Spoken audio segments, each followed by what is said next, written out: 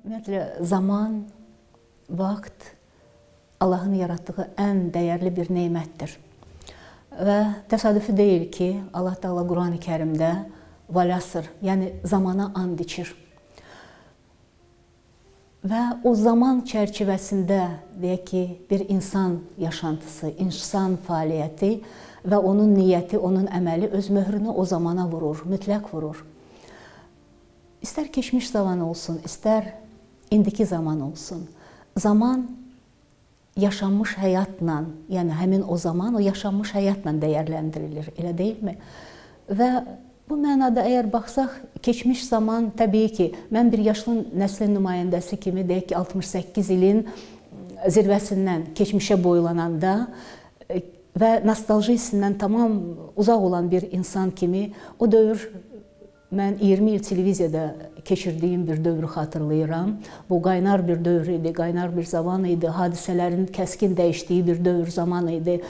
İstər siyasi münasibətlərdə, istər insani münasibətlərdə çox mürəkkəb bir zaman idi. O dövrdə məhəbbət, mehribanlıq, xeyirxahlıq, bu hisslərə köklənən münasibətlər və buna uyğun verilişlər daha çox idi. Bu gün mən deyək ki, o verilişlər üçün darıxıram. Bu gün mən televiziyanı xatırlayanda bugünkü verilişlərə baxıram və o dövr yaşayan insanlar, o dövr televiziyada işləyən insanları xatırlayıram. Onların bir-birinə münasibətini, onların efir yanğısını, efirə sevgisini və efirə məsuliyyətini xatırlayıram. Bu mənada mən ömrünün 50 ilini radio və televiziya həsr eləmiş Mailə xanım Muradxanlını xatırlayıram. Və xatırlayıram ki, Mailə xanım öz enerjisi ilə zamana, nəb zamanın nəbzini tutan bir insan kimi o dövr bir məktəb yaratmışdı. O dövr bir epoxa idi. Mailə Muradxanlı epoxası idi və bu tək Mailə Muradxanlının adı ilə bağlı deyildi. O dövr insanların özünün kökləndiyi dəyərlər əslində o dəyərlər idi və Mailə xanım da bu dəyərlərə köklənən bir insan kimi, efiri sevən kimi, efiri bayaq dediyim kimi məsuliyyətini duyan bir insan kimi hazırladığı verilişlərdə, hazırladığı layihələrdə bu hisslərdən çıxış edərək işlərini görürdü. Mən xatırlayıram, Maylə xanımın saysız hesabsız onlarla layihələri var idi. Və bu layihələr biri bir digərini təkrar etmirdi və ən önəmlisi də o idi ki, burada ştamp yox idi. Baxın, bugünkü gündə deyək ki, efirdə ştamp var. Hansı kanala baxırsan, biri digərini deyək ki, bu və ya digər şəkildə təkrar edilir. Və ya deyək ki, Rusiya məkanından, Türkiyə məkanından götürülən verilişlər onların əsasında hazırlanan ştamp verilişlər var. Amma o dövrdə Onlarla veriliş var idi. Bu tək Mailə xanımın verilişlərindən söhbət gedir. Biri digərini təkrar etmirdi, bunlar orijinal idi. Və ən maraqlısı da o idi ki, Mailə xanım bu verilişlərə o qədər dəyərli adlar seçirdi. Baxın, mən uzun illərdir ki, televiziyadan ayrılan bir insan kimi radioda məkanında çalışıram. 14 ildir artıq və mənim canlı efirə gedən, hər şənbə efirə gedən verilişimin adı Ünsiyyətdir. Ünsiyyət adını Mailə xanım mən televiziyada işləyəndə ünsiyyət proqramı hazırladım. Onun ideyası da əslində Mailə xanımın idi və onun adını da Mailə xanım vermişdi. Baxın, ünsiyyət adı bu gün də yaşayır. Və mən deyim ki, bu gün efirdə bəzən rastıma çıxan dəyərli verilişlər olur mən deyirəm ki, bəli, bu verilişlər Mailə xanımın ideyası ilə hazırlanan verilişlərdir. Hətta onların adları da bu gün yaşayır. Baxın, belə bir zaman, belə bir dövr var idi ki, baxın, o dövrdə görülən əməllər, amma xeyirxah əməllər, gözəl əməllər, cəmiyyət üçün faydalı olan, insanları bir-birinə yaxınlaşdıran, insanları bir-birinə sevdirən əməllər bu gün də yaşayır. Axı əslində dəyər, dəyər deyilən bir anlam, Allahın qoyduğu bir ölçü, dəyər o zamanda da eyni idi, bu gün də də eynidir. Sadəcə biz o dəyərlərdən aralandıqca təbii ki, dəyər öz dəyərini itirir, dəyərsizləşir. Yəni elə bir məkandır ki, bunu ayrı-ayrı insanların istəyi ilə bunu formalaşdırmaq deyək ki, bu və ya digər verilişi və ya deyək ki, layihəni bu mümkün deyil. Yəni hər dövrün özünün diktəsi var, özünün qoyduğu bir möhür var. O dövrdə həqiqətən də mərhəmət, xeyirxahlıq, sevgi, bunlar daha çox populyar olan münasibətlər idi. Bilirsiniz, ola bilsin ki, biz Sovet dövrü deyirik, bu bir qədər, bir qədər yox, daha çox ateizm dövrü kimi yadda qalan bir dövrdür. Amma eyni zamanda bu da ateizm dövrünün içində bayaq dediyim o dəyərlərə, deyək ki, mərhəmət sevgiyə köklənən dəyərlərə daha çox yer verilirdi və efir məkanında başqa bir şey görməzdin. Deyək ki, şiddət görməzdin, qan görməzdin, qada görməzdin. Deyək ki, xəbərlər proqramında heç vaxt deyək ki, bu maşın vurdu, 10 nəfər öldü, 20 nəfər öldü. Belə bir şeylər efirə getməzdi, heç buna icazə verilməzdi. Və ona görə də yəni əslində bunun çox düzgün, ən düzgün cavabı o idi ki, yəni tələb bu idi.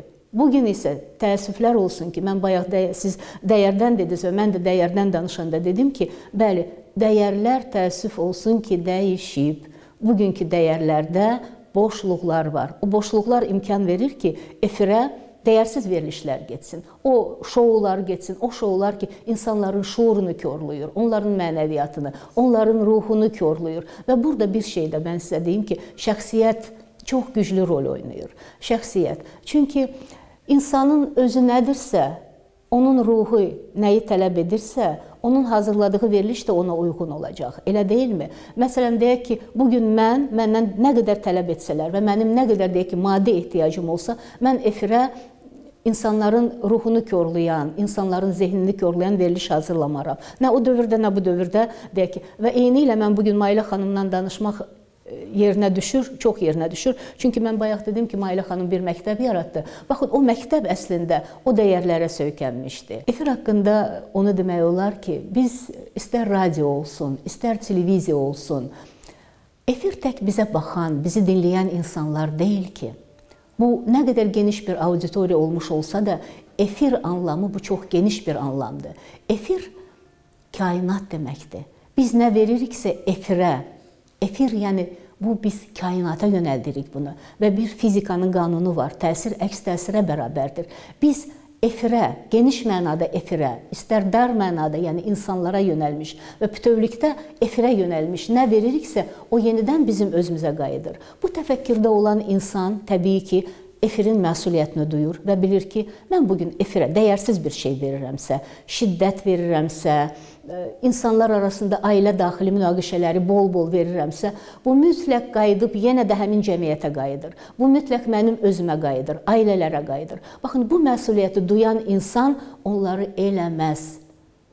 Efir çox e, efir belə bir şeydir. Baxın, o dövrdə çalışan insanlardan mən Mayra Mayla xanım Muradxanlını xatırladım və bir də onu da deyim ki, Mən Mayla xanımın istər insanlara münasibətini, işə münasibətini, onun fəaliyyətini uzun illər izləyən bir insan olmuşam. Və Mayla xanımın əməli, sözü üst-üstə düşən bir adam kimi mənim yadımda qalıb, bir mərd insan kimi yadımda qalıb. Amma eyni zamanda o dövrdə mənim hər dəfə ürək yanğısı ilə xatırladığım bir Nadir müəllim var idi.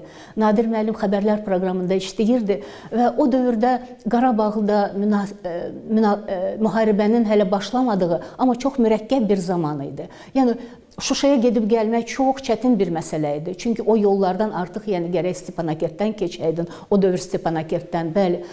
Baxın, və çox qıtlıq bir zamandır. Nadir müəllim Qarabağdan düşürdü aşağı Şuşadan, bir neçə buxanka çörək götürürdü və tapşırıqları alıb yenidən çox çətin yollarla Şuşaya qalxırdı.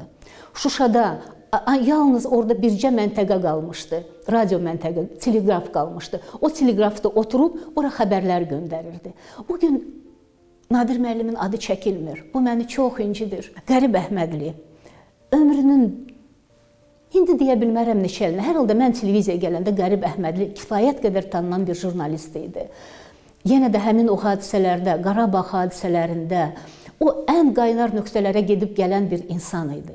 Qərib Əhmədlinin adı çəkilmir. Bu da məni incidir. Axı onlar həqiqətən məktəb idi. Bugünkü gənclər, bugünkü efirdə çalışan gənclər, əgər istər Mailə xanımın, Nadir müəllimin, Qərib Əhmədlinin qoyduğu o dəyərlərə sahib çıxa bilsəydilər, o məktəbdən öyrənə bilsəydilər, faydalana bilsəydilər, inanın ki, bugünkü efirimiz çox zəngin olardı, çox dəyərli olardı. Və mən onda deyərdim ki, bəli, bu gün bizim millətimizə, bu gün bizim yetişən nəslimizə dəyərli verilişlər hazırlayan yeni bir nəsil jurnalistlər yetişib. Təəssüf ki, hələlik bunu deyə bilmirəm, amma mən buna ümidliyəm. Mən şəxsən özüm öz fəaliyyətimdə çalışacağam ki, bundan belə Allah mənə nə qədər ömür veribsə, o dəyərli kadrları yetişdirə bilim. Tək bunu edə bilim.